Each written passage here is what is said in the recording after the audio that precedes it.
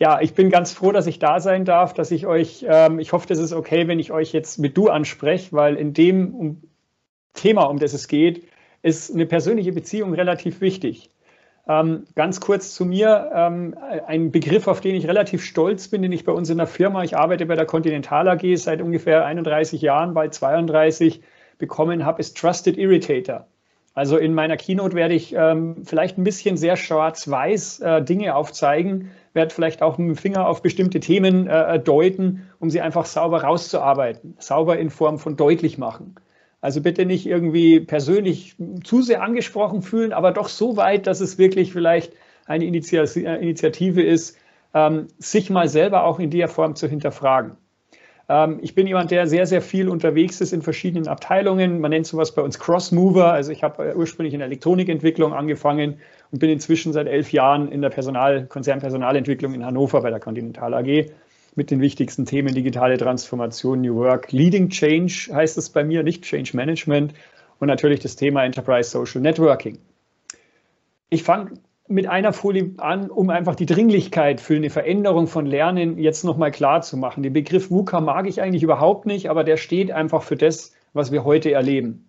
Und der Grund, warum wir so verändert unterwegs sind, ist in meinen Augen einfach der, wir haben unsere Werkzeuge, vor allen Dingen jetzt, ich kann natürlich aus unserer Erfahrung sprechen, im Automotive-Bereich extrem geschärft, also unsere Axt, mit der wir unterwegs sind ich würde sagen, die ist inzwischen eine Motorsäge. Das heißt, in einem Wald sind wir maximal effizient, wir sind maximal produktiv und können in diesem langsam wachsenden, stabilen Wald, ich nenne den mal Management, hervorragend arbeiten. Das Dumme an der ganzen Geschichte ist, all diese Prozesse, Werkzeuge, Methoden, die wir über die letzten Jahrzehnte, Jahrhunderte vielleicht sogar optimiert haben, helfen uns auf diesem Schiff hier nichts. Und für mich ist aber dieses Schiff eigentlich eine, eine Darstellung ähm, von, dem, von der Welt, in der wir heute leben. Ähm, da gibt es Orkane, da gibt es große Wellen. Wir wissen nicht, wie viele Inseln da sind. Wir wissen nicht einmal so ganz genau, wo es hingeht. Wenn man sich jetzt vorstellt, man hat diese hocheffiziente Axt oder diese Motorsäge und ist mit dieser Motorsäge jetzt auf einem völlig anderen Planeten oder auf einem anderen Fortbewegungsmittel, könnt euch vorstellen, damit kann ich meinen Mast absägen, aber das wäre nicht wirklich hilfreich. Ich arbeite gern mit Bildern und deswegen versuche ich euch da wirklich auch ganz dringlich ähm, äh, hinzuweisen darauf, wir haben völlig veränderte Rahmenbedingungen heute. Die Art und Weise, wie wir kommunizieren, wie wir lernen, wie wir Veränderung begleiten, wie schnell das geht, mit wie vielen Leuten das passiert, all das hat sich dramatisch geändert. Und trotzdem sind ganz, ganz viele von uns noch mit exakt den gleichen Erfahrungen, Werkzeugen, Prozessen und Methoden unterwegs. Und das, glaube ich, macht klar, wie dringlich es ist, diesen neuen Lebensraum, in dem wir gerade sind, dieses neue Arbeitsumfeld, die neuen Werkzeuge, die wir da zur Verfügung haben, zu lernen. Und das ist natürlich etwas, was ich sehr, sehr oft erlebe, ist schwierig. Ähm, ich habe in den letzten zehn Jahren einige große globale Projekte gemacht. Wir haben bei uns Enterprise Social Networking eingeführt. Da haben wir alle möglichen Awards dafür bekommen, weil wir es relativ, weil wir es sehr anders gemacht haben. Ähm, ich habe selber als einer der Projektleiter 2016 bis 2019 unser Office eingeführt ähm, wir haben 25 neue Tools installiert im laufenden Betrieb. Wir haben sechs Monate lang jeden Tag 1000 bis 1500 Leute migriert im laufenden Betrieb. Und das Ergebnis davon, 71 Prozent der Kollegen waren danach sehr oder zufrieden. Nochmal weitere 20 Prozent haben gesagt, okay, ähm, nicht negativ. Also über 90 Prozent waren nicht negativ. Und das ist, glaube ich, ein Ergebnis bei einer globalen, wir reden von 60 Ländern, in denen wir unterwegs sind, 180.000 Leute, die betroffen waren, von schon einem Ergebnis, das jetzt nicht den typischen Gartner widerspiegelt, 60 Prozent solcher Veränderungen scheitern. Wir haben vom Provider eine, eine Rückmeldung bekommen, also teilweise bis heute in einigen der Tools. Wir haben die höchste Nutzungsquote, die sie je gemessen haben. Also die Werkzeuge werden auch verwendet. Und äh, wir können natürlich intern auch sagen, ziemlich sinnvoll. Und der einer der Trainingsprovider, wir haben ein globales Guide-Netzwerk aufgebaut mit 1800 hochmotivierten, selbstnominierten Change Agents, nennen wir die, also digitalen Vorbildern. Ähm, und äh, dieser Trainingspartner ähm, hat für uns diese Lernreise mit, äh, mitgemacht, mit, mit äh, Trainern. Und der ist rausgegangen, der hat selbst Videos gedreht drüber und hat gesagt, das war Once-in-a-Lifetime-Erfahrung. Also das war natürlich für uns dann schon ein, ein Hinweis zu sagen, okay, das, was wir da machen, ist nicht so ganz verkehrt. Um es nochmal auch ganz konkret zu machen. Man kann sich, wer, wer, von Ihnen schon mal solche Projekte gemacht hat oder von euch, der weiß, dass es so typische Schwierigkeiten gibt. Eines davon ist, wie kriege ich denn dafür für 25 neue Werkzeuge, also inklusive Umfragetools, inklusive Videokonferencing, und jetzt reden wir ja von vor vielen Jahren, wie kriege ich dafür eine Konzernbetriebsvereinbarung? Wir haben auch hier das Thema Lernen, Support, Transparenz, Beteiligung, eine andere Art von Führung. Ähm, von Anfang an gelebt und das Ergebnis war, dass wir rausgekommen sind mit einem Manifest, also einer Vertrauensvereinbarung, in der quasi generell alle Tools freigegeben sind ähm, und geschrieben wird, wie wollen wir denn in Zukunft arbeiten. Und der Weg dahin natürlich ist gemeinsames Lernen, also eine andere Form von Lernen. Ich nenne es auch gerne Lernen und nicht Training, ohne zu sagen, dass Training schlecht ist. Jetzt mal die Frage, kurz reflektieren. Wenn ihr den Begriff Lernen hört oder lebenslanges Lernen, ich mag den auch eigentlich nicht so gern, weil lebenslang klingt so ein bisschen wie Knast, also wie Gefängnis. Aber Lernen, mit was verbindet man das? Was für Erfahrungen habe ich, wenn ich das Thema Lernen habe? Einfach mal kurz drüber nachdenken, welche Sachen kommen da hoch, welche Begriffe kommen hoch. Wenn man dann gefragt hat, wie lernt ihr, merkt ihr schon, da entsteht Diversität diesen One Size Fits All, alle lernen gleich in einem Trainingsraum vor einem Trainer oder sowas, das ist nicht schlecht, aber das deckt jetzt eigentlich nicht, wenn ich die, individuellen Wünsche oder Lernpräferenzen annehme oder respektiere, kann das das nicht abdecken. Lernen kann aber auch was ganz anderes sein. Ihr habt selber schon geschrieben, wie ihr es gerne wollt. Wenn ihr euch jetzt mal eure Kinder anschaut, wenn ihr welche habt, oder geht mal in einen Kindergarten oder irgendwo an einen Spielplatz, da ist doch Neugier, da ist Begeisterung, da, da sind die Kinder zusammen die, die, die haben Mut, etwas auszuprobieren. Und obwohl sie wissen, dass es nicht geht oder obwohl die Eltern sagen, darfst du nicht, ähm, das hat was mit Glücksgefühl und Freude zu tun. Schauen wir uns das nochmal an, weil das ist für mich eine ganz essentielle Frage. Wir haben in der gleichen Firma, teilweise in den gleichen Abteilungen, Leute drin sitzen, die sagen, oh, ich kann es nicht mehr aushalten. Es sind mir zu viele Dokumente, schon wieder ein neues Tool. Jetzt muss ich das auch noch lernen. Es ist, es ist ein Wahnsinn und das alles unter Zeitdruck on top und so weiter. Und nebendran sitzt jemand, der sagt, oh, ist das toll. Hey, hast du das schon gesehen? Oh, hier gibt es was Neues. Jetzt gibt es die neuen Gläser mit Video und jetzt gibt es VR und was weiß ich was alles. Ich will mehr davon. Ich kann es gar nicht mehr erwarten. Das Ergebnis, wenn, wenn, wenn ich das auch wieder mit dem Projekt reflektiere, unsere IT damals, wie sie angefangen hat, haben sie gesagt, wir müssen diese 25 Tools reduzieren. Das schaffen unsere Leute nicht. Das ist zu viel. In Wirklichkeit haben sie auch gesagt, wir schaffen es selber nicht. Der Betriebsrat hat gesagt, hey, wir können für 25 Tools keine Trainingskonzepte anbieten. Die müssen wir ja jeden Monat auch noch aktualisieren, weil, weil das ja auch Evergreen Cloud Software as a Service ist. Also da gibt es viel schnellere Updates. Und ich muss das Ganze bei uns ja auch noch jeweils dann in 20 Sprachen übersetzen. Also diese Überforderung auf der linken Seite, die ist sehr, sehr omnipräsent. Jetzt kommt auch noch Corona und alles Mögliche dazu. Also ich kann total nachvollziehen, dass Leute von, welche von euch sagen, hey, ich, es ist mir echt zu viel. Das ist nicht, das sind schlechte Menschen. Also bitte, um das ganz richtig zu verstehen, sondern es ist ein Gefühl der Überforderung. Und auf der anderen Seite ein, ein Lustgefühl nach mehr. Und die Frage ist, was ist zwischendrin? Weil es sind keine anderen Menschen. Äh, wie ihr jung wart, würde ich behaupten, die meisten von euch waren irgendwann auf der rechten Seite. In Form von, oh, ich will laufen lernen, ich will Fahrradfahren lernen, ich will schwimmen lernen, ich will keine Ahnung. Wenn ihr zu Hause seid, würde ich vermuten, dass ihr eure Hobbys auch auf der, äh, in dem Mindset der rechten Seite äh, ausübt. Ah, da gibt es was Neues, ob das Briefmarken sammeln, Fahrradfahren oder, oder was sonst irgendwas ist. Ähm, da, da saugt ihr Wissen auf wie ein Schwamm. Und auf der anderen Seite ah, eher nicht so. Es ist natürlich total schwarz-weiß und, und natürlich nicht vollständig, aber einfach mal so zwei, drei Dinge, die ganz explizit dafür stehen die linke Art, warum wir diesen, diese, diese negative dieses Gespür haben, wie gesagt, jetzt mal losgelöst von den ganzen Dingen mit Corona und so weiter, ist, dass da immer ein Druck dahinter ist. Ich muss immer beweisen, dass ich was gelernt habe. Ich muss eine Menge schaffen und so weiter.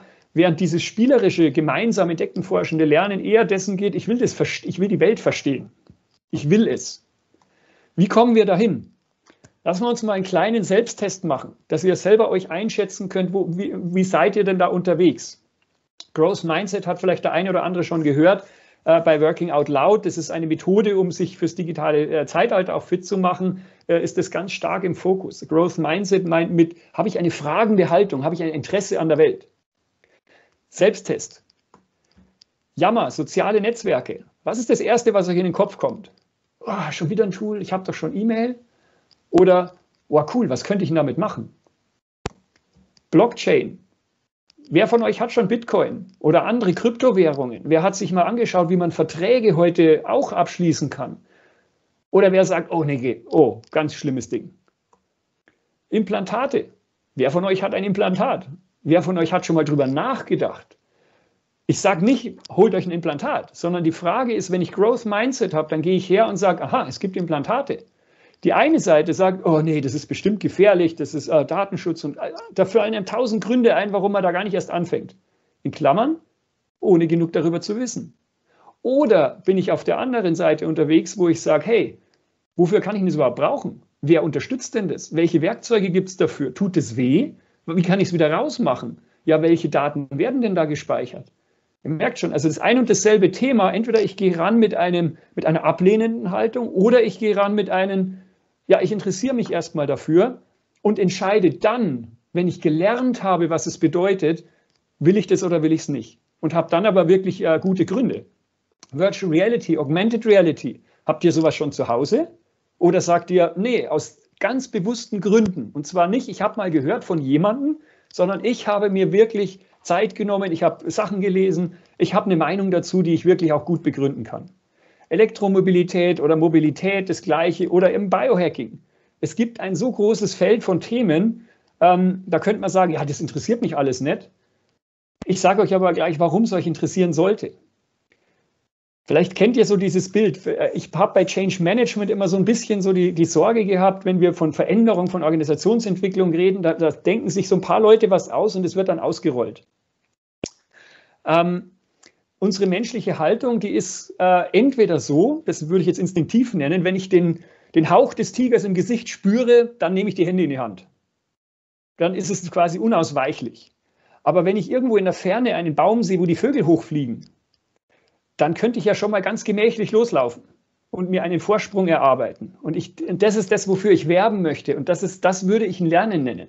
Wenn ich anfange, bei den ersten Anzeichen ganz, ganz kleine Zeiten investieren und sagen, hey, mal zehn Minuten am Tag was anschauen dazu, dann kriege ich schon eine ganz andere, einen anderen Background, um an solchen Themen dann zu arbeiten und zu wissen, hey, macht es Sinn, sollte ich jetzt weglaufen oder kann ich hier ganz gemütlich stehen bleiben, weil ich habe einfach eine gewisse Grundbildung. Also es ist eure eigene Entscheidung, ob das, was da gerade mit euch passiert, äh, total schlaucht und zu viel ist, also als Revolution empfunden wird, als Disruption, oder ob ihr sagt, nee, ich mache jeden Tag meine zehn Minuten und damit wird es eine, keine Revolution mehr, sondern es ist eine Evolution. Jeden Tag zehn Minuten übrigens wäre in einem Arbeitsjahr 42 Stunden. Zehn Minuten am Tag. Und ich zeige euch gleich, was ihr in diesen zehn Minuten auch machen könnt. Und ihr habt diese Zeit. Also wenn ihr das mal so auf dem Zeitstrahl anschaut, es gibt seit 1850 elektrische Autos. Es gibt seit äh, ungefähr 1970er Jahren gibt's Videoconferencing. Ich habe selber meine erste Videokonferenz damals in Amerika 1996 gemacht. Wir reden heute noch davon, dass hey, Videoconferencing, schalte ich die Kamera aus oder an oder was mache ich und so weiter. Ganz ehrlich, wer würde sich in einem Live-Meeting äh, hinter, einer, hinter einer Pinnwand verstecken? Das macht kein Mensch. Also das ist doch ein zusätzlicher möglicher Kanal. Lasst uns lernen, mit diesen Methoden, mit diesen Werkzeugen umgehen und deren Mehrwert nutzen und die Risiken auch zu verstehen und die entsprechend zu minimieren. Naja, was ist denn, wenn das Lernen eigentlich vielleicht gar nicht wichtig ist? Lasst uns das mal gemeinsam rausfinden. Ganz herzlichen Dank. Also das ist etwas, was, und ich kann euch sagen, ihr seid damit komplett nicht alleine.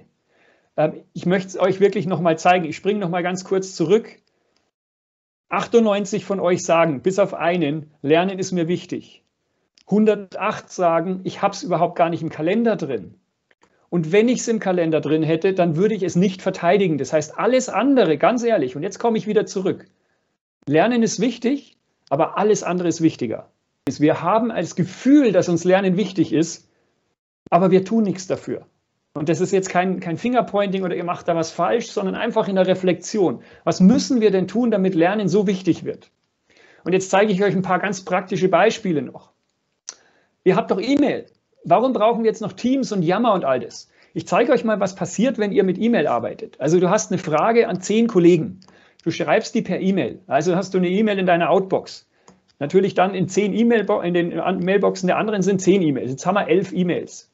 Was passiert natürlich? Einer stellt eine Rückfrage und natürlich an alle.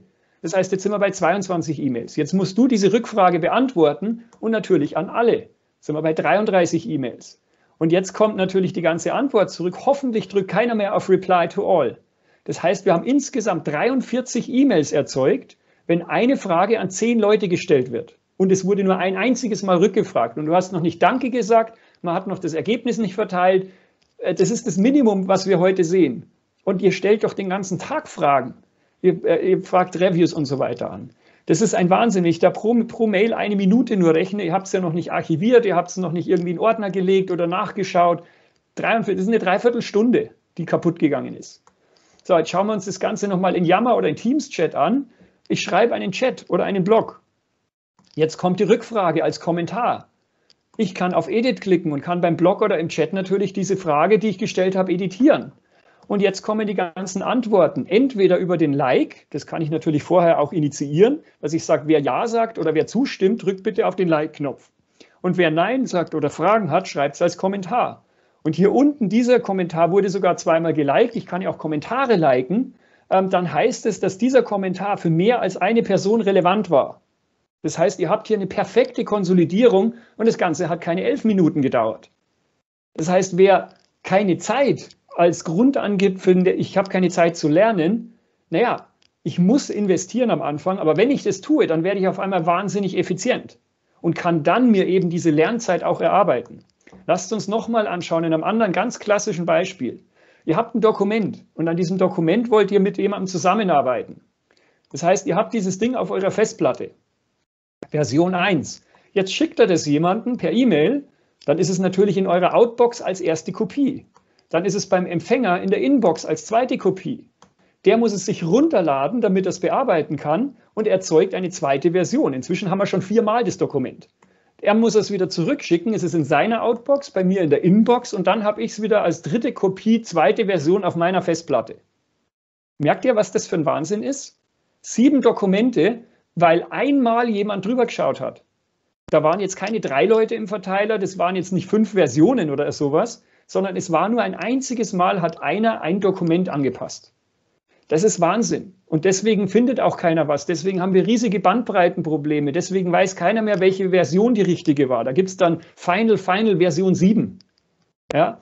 Wenn ihr das Ganze in eine Cloud macht, zum Beispiel eben über Yammer, über SharePoint oder über OneDrive speichert, dann bleibt es immer ein Dokument. Und jeder, der darauf zugreift, hat immer die neueste Version. Egal wie viele Leute das machen oder wie oft.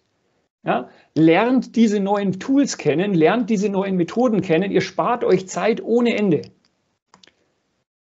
Wie sieht so eine digitale Lernreise aus? Ich habe eines gesagt noch, ähm, Social Learning ist mir was ganz Wichtiges. Von und miteinander lernen. Wie werde ich denn inspiriert? Was mache ich denn in diesen zehn Minuten? Und da habe ich euch so eine kleine Reise, ganz konkret. Geht in Yammer rein, geht in LinkedIn rein oder ihr könnt auch Twitter oder irgendwas anderes nehmen, aber ein, ihr braucht ein soziales Netzwerk.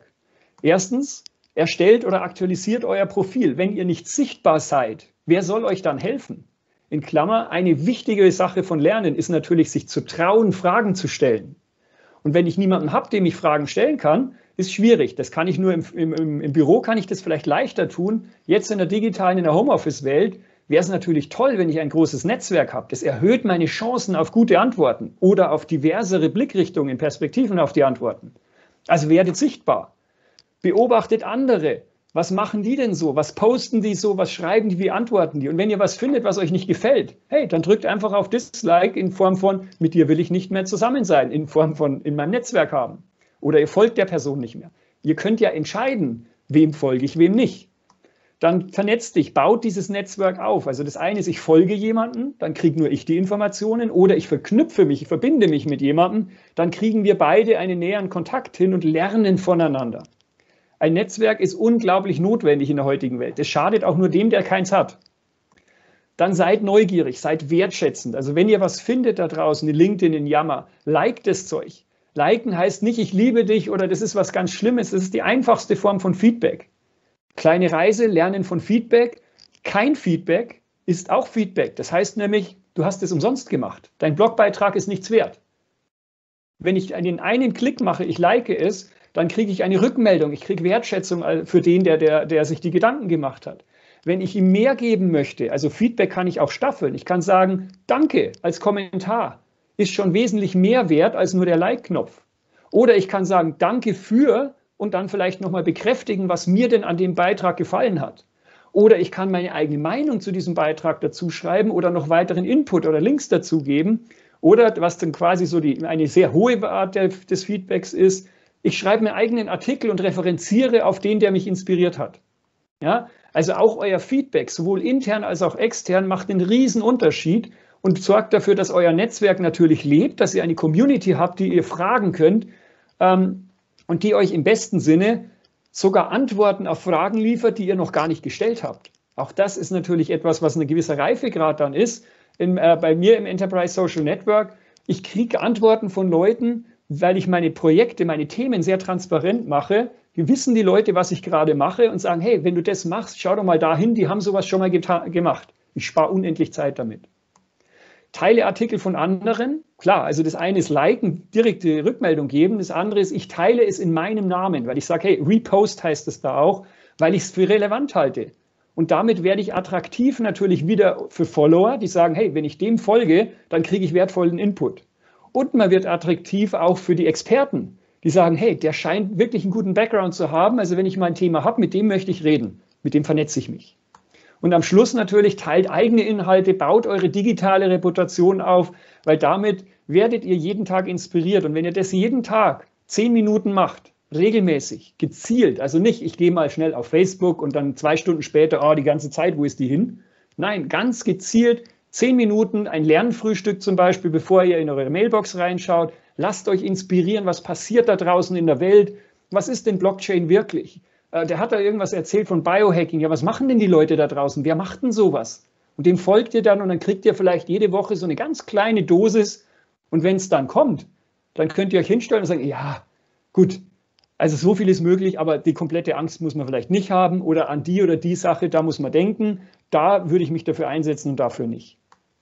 So, zusammengefasst, Lernkompetenzen im Digitalzeitalter, Lernpräferenzen wirklich kennen. Was, wie will ich lernen? Und ihr findet diese Lernsetups überall. Der eine lernt lieber mit YouTube, der andere braucht jemanden, der es ihm zeigt. All das habt ihr mir ja auch gesagt. Nutzbar machen des Reichtums von Diversität. Ich höre oft wieder, dass es sagt, ah, wenn wir die Leute alle fragen, oh, was machen wir damit?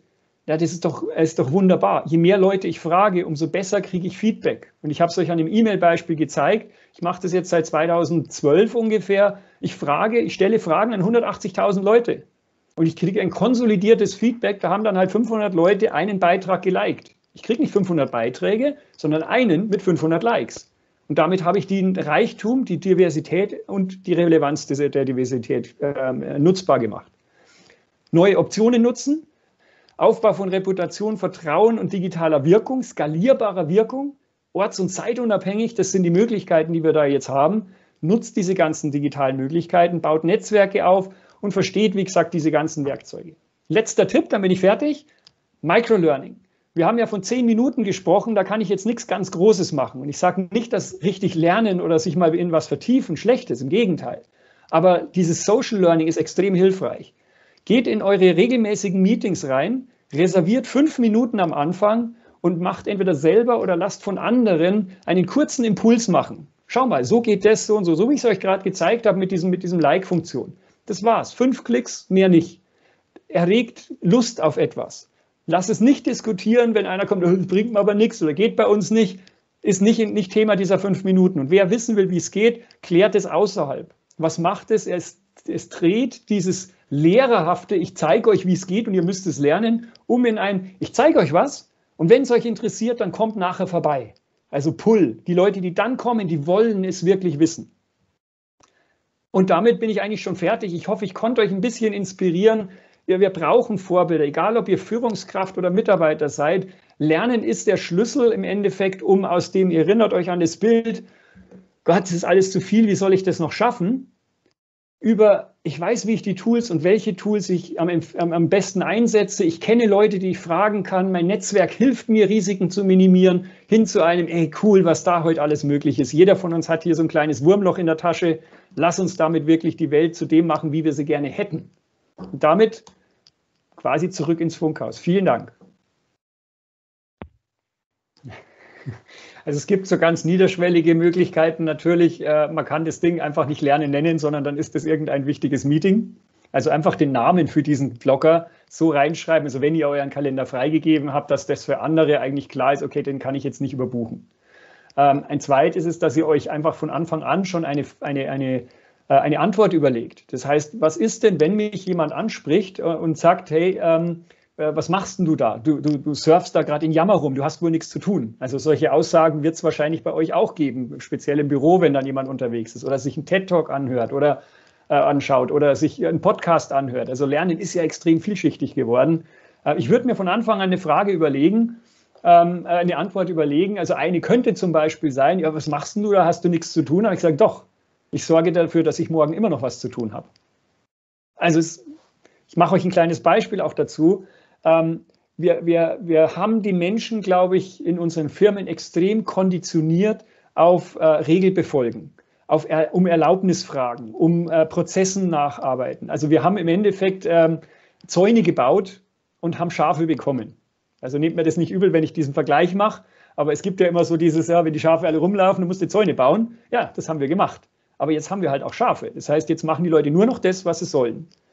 So, und jetzt wollen wir von ihnen Wertekonformität, wir wollen Unternehmertum, wir wollen äh, Ownership und all diese ganzen Buzzwords, die im Moment durch die Welt gehen, aber wir bauen im Moment die Zäune noch nicht ab weil wir Angst haben. Wenn ich jetzt sage, ja, jeder hat jetzt eine Stunde Lernzeit, dann kommt als nächstes, oh, was soll ich denn da machen?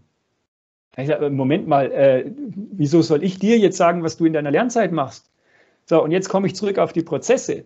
Der Wunsch natürlich von ganz vielen ist, dass jetzt jemand kommt und sagt, lerne das zu der Zeit, in dem Tool, um die Art und Weise. Am besten machst du hinterher noch eine Prüfung und kriegst auch noch ein Badge. Weil dann habe ich bewiesen, ich habe auch was gelernt. Und dieses, dieses, diese Prozesshaftigkeit, die haben wir ja natürlich in der Industrie sehr stark. Und jetzt male ich euch wirklich auch ein negatives Bild in der Richtung. Wenn ich alles beschreiben kann, wie, wann, wo, in welchem Tool ich mache, dann nennen wir das heute Algorithmus. Und einen Algorithmus werden in Zukunft sicher keine Menschen mehr machen, sondern Tools. Roboter, Computer, sonst irgendwas. Also je genauer ich beschreiben kann, was jemand zu tun hat, umso weniger wird es danach noch von einem Menschen gemacht werden. Das heißt, was wir als Menschen sozusagen jetzt wieder lernen müssen, uns freischwimmen müssen, ist quasi neugierig sein, Zusammenhänge finden und sagen, hey, bevor du mir sagst, was ich zu tun habe, ich habe gar nicht um Erlaubnis gefragt, ich habe mir das mal angeeignet. Und wenn du dann sagst, wenn ein Chef kommt und sagt, wieso sitzt du jetzt gerade da und schaust dir den TED Talk an? Ich sage, weil das für meine und deine Zukunft essentiell ist. Wenn ich das nicht verstehe, wenn ich das nicht lerne, wie soll ich denn dann noch meinen Job machen? Um mich herum ändert sich die ganze Welt. Ja, also dieses Verständnis, auch eine, ein Selbstbewusstsein zu haben, zu sagen, ich lerne jetzt, ich lerne für mich und ich lerne für die Firma.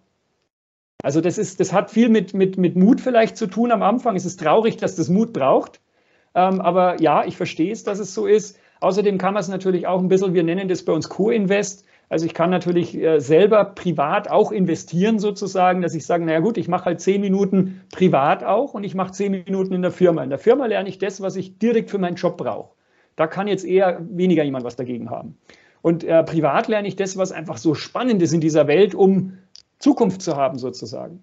Ja, und äh, tauscht euch aus, schließt euch an Gruppen an. Es gibt es gibt eine große WOL, eine Working Out Loud Community. Schließt euch da an. Das sind ganz viele Gleichgesinnte. Am besten ist es wirklich der Tipp, macht's gemeinsam, weil eine Gruppe greift mal äh, schwerer an als einen Einzelnen bringt mir diese Session was? Ähm, also ich glaube, das hat sich ja auch heute dynamisiert. Also es ist ja heute nicht mehr so, dass ich quasi ein halbes Jahr vorher ein Training buchen muss, 1000 Euro zahle und dann einen Tag lang irgendwo sitze und nach einem halben Tag feststelle, oh, das war es nicht. Sondern ich kann eigentlich in dem ganzen Social Learning, im ganzen Netzwerk, ich kann heute an jeder Universität der Welt, an den besten Universitäten der Welt, kann ich heute kostenlos studieren. MOOCs, kann, in alle, Yale, egal wo ich dahin will, ich kann nicht studieren. Und da weiß ich doch nach, nach zehn Minuten lesen, ob das mir was bringt oder nicht. Und dann höre ich es halt wieder auf, wenn es nicht das Richtige ist. Ich, also es gibt einmal natürlich die Filterblase. Also ich lerne die Dinge, die mit meinem Job zu tun haben. Äh, und aber ich versuche ganz bewusst auch aus meiner Filterblase rauszugehen. Ich gehe teilweise auch auf, auf Kongresse, wo ich was, was überhaupt nichts mit meinem Thema zu tun hat. Weil ich glaube oder ich bin überzeugt davon, dass neben dem, äh, ich sage jetzt mal, dem Expertenwissen, das wir ja schon seit Jahren ähm, quasi fokussieren, ein Breitenwissen extrem wichtig ist. Also Generalisten brauchen wir in Zukunft sicher noch viel, viel mehr, nicht als Experten, aber es gibt zu wenige Generalisten. Also das wäre ein riesiges Feld. Darum habe ich diese Bandbreite aufgemacht. Schaut euch doch mal Biohacking an. Schaut doch mal, was alles möglich ist heute und wie es vielleicht für euch persönlich oder für euren Job dann sehr wichtig ist. Ich glaube nicht, dass man Leute, und es gibt ja auch wissenschaftliche Beweise, dass man Leute von außen ganz schwer motivieren kann. Du kannst eine Rübe hinhalten, du kannst sagen, hey, geht mal ins Training. Ähm, die beste Motivation ist, wenn die Führungskraft anfängt, selber zu lernen. Also wenn sie das in ihre Meetings reinmacht, so ein Microlearning zum Beispiel, wenn zum Beispiel die, die Führungskraft sagt, am Freitag machen wir eine Stunde Lernen. Ich wähle mich ein in Teams und wer will, kann sich mit einwählen und wir lernen gemeinsam. Ja, gibt es da eine Agenda? Nein, gibt es nicht. Kann sich irgendjemand vorstellen, dass man in einer Stunde was lernt, wenn Leute ohne Agenda zusammenkommen? Naja, was hast du letzte Woche gelernt? Ah, ich war gerade beim Sketchnoten. Ah, ich habe mal diesen Podcast gehört. Oh, auf LinkedIn habe ich gesehen, gibt es jetzt das und das. Da fängt einer an und automatisch entwickelt sich teilweise ein Gespräch. Die Führungskraft kann natürlich die, die Angst vielleicht nehmen und sagen, ja, ich werde nicht alles prüfen oder du musst es nicht nachweisen. Also das mache ich bei allen meinen Angeboten. Es gibt keinen Einstellungstest, es gibt kein, kein, kein Assessment Center dafür, es gibt keine Prüfung hinten raus, sondern einfach nur die Lust am Lernen, das gemeinsame Erleben, Netzwerke aufbauen, über Diversität, also über Kulturen hinweg voneinander äh, inspiriert werden. Das ist so selbsterfüllend dass das, was dann stoffmäßig sozusagen rüberkommt, das ist, äh, das ist einfach nur noch nebenbei. Also, genau. Also ja, der Chef kann die Freiheit geben. Er kann sagen, ja, ähm, ihr dürft lernen. Aber aus meiner Erfahrung, äh, unsere Vorstände sagen auch natürlich die ganze Zeit, bitte lernt. Ähm, und dann hat man aber sein Tagesgeschäft und hat dann obendrauf noch die Sachen, die alle wichtig und dringend sind. Äh, ich glaube, das geht darüber hinaus. Es muss Leute geben, idealerweise natürlich in allen Ebenen, die sagen, laut sagen, ich lerne jetzt. Und Yammer zum Beispiel, nur um den Fokus auch nochmal aufzubauen. Also es gibt kein besseres Lerntool im Moment als Yammer. Also nicht Yammer als, als Produkt, ich bin jetzt hier nicht von Microsoft, sondern als, als ein Enterprise Social Network. Ja, weil darüber werde ich über die, da kann ich mich vernetzen, da kann ich voneinander lernen, da kann ich aus meinem Standort raus, ich kann mich mit, über die Tags kann ich mich vernetzen mit Leuten, die ähnliche Kompetenzen haben oder Kompetenzen, die ich brauche. Ich kann mit denen in direkten Kontakt gehen. Das ist viel, viel einfacher als telefonieren oder irgendwas. Ähm, und wenn ihr anfangt, so ein bisschen euer Wissen zu teilen, und damit meine ich nicht Doktorarbeiten, sondern ich meine, hey, habt gerade das gelernt.